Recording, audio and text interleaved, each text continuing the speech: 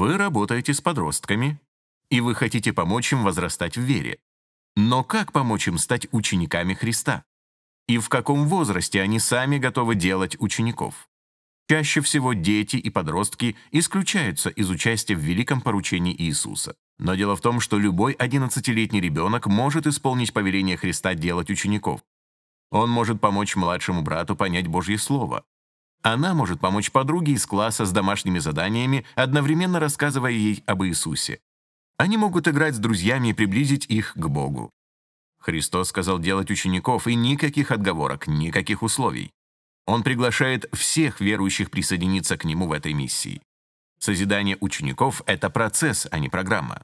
Это углубление отношений с Богом и другими людьми, а не только приобретение информации. В этом процессе созидания учеников сокрыт один секрет. Мы растем, помогая расти другим. Помогать окружающим расти — это ключ к духовной зрелости каждого верующего.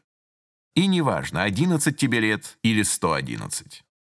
Не мешайте подросткам возрастать во Христе. Побуждайте их помогать своим братьям и сестрам. Поддерживайте их, когда они помогают расти своим друзьям. Призывайте их повиноваться повелению Христа для каждого верующего – делать учеников.